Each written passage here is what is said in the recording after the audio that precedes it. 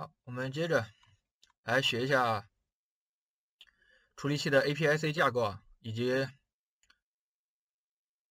嗯中断的分类。就是首先啊，我们来看一下，就是这一张图啊，就是 Windows 呃英特尔白皮书上的这个原图啊，它这个 APIC 啊 CPU 架构。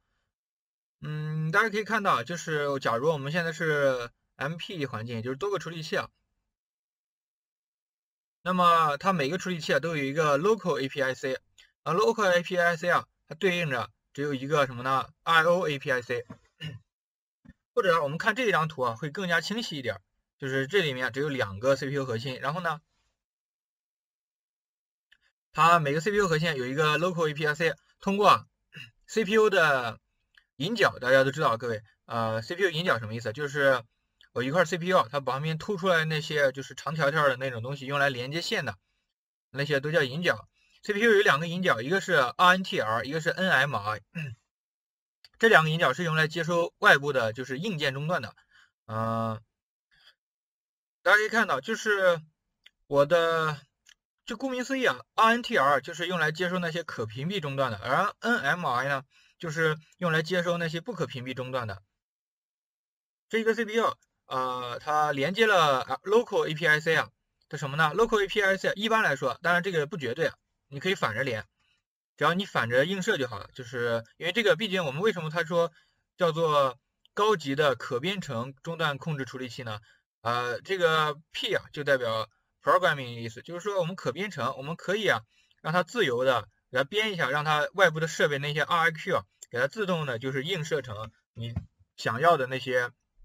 向量和也好，就我可以可编程什么意思呢？就是我一个设备啊，大家就注意，就是我这个打印机，我可以给它编程，让它对应到我们 IDT 表里的对应的那个索引。这个是在哪完成的？是在我们这个 RO APIC 完成的。就是事实上，我们现代的中处理器中断框架是 APIC 啊，它是由两个部分组成的，一个是我们的 Local APIC，一个是我们的 RO APIC。而我们的 Local APIC 啊，就是我们 RO APIC 啊。就是负责接受硬件，就是硬件系呃，就是系统硬件以及 I/O 设备，就是这些外部中断。然后它接收之后，收集设备发来的中断之后，我们啊在此处，在这个地方，它就可以根据编程来建立我们中断和向量号之间的关系。我们向量号是什么？就是我们这个 vector，vector 就是 IDT 表中的索引。建立关系之后，然后并把它们作为中断消息发送到我们的这个本地 APIC。注意，这这个时候我们已经建立就是外部中断和我们这个中断向量号之间的关系了。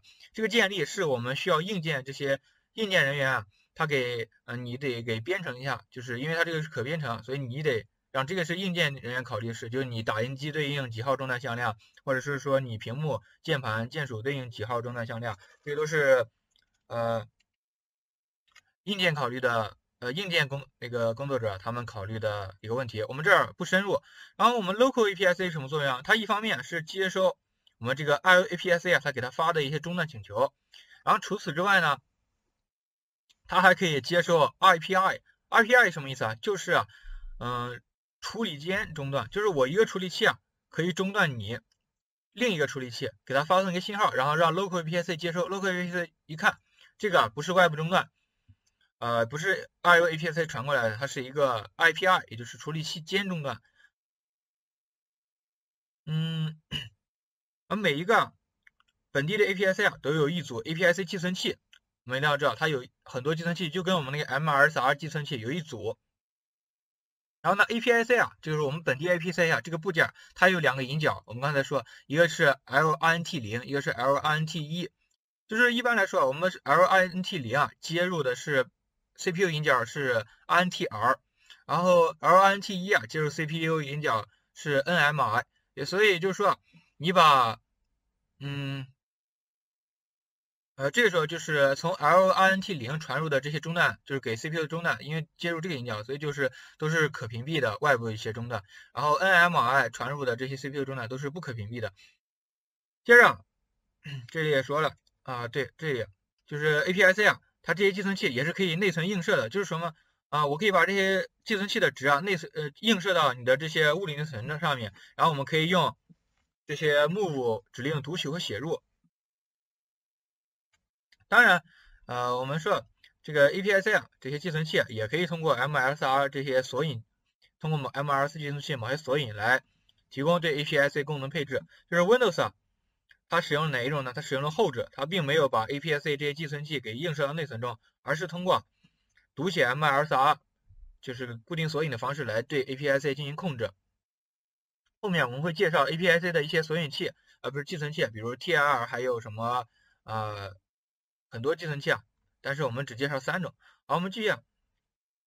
刚才说了，这是我们在讲硬件终端，对吧？硬件终端就是呃一方面是硬件产生的，要么要要么就是 I/O 设备，对吧？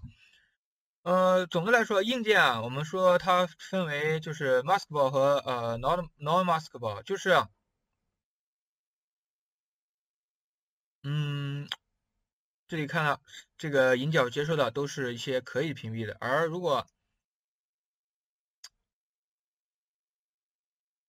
就是这个引脚它接收到终端就是不可屏蔽的了。嗯，这个就是硬件中断，我们已经讲完了。那软件中断是什么呢？啊，软件中断大家可以理解为。就指令产生的，我手动触发这个对应的 I IDT 表，我直接让它就是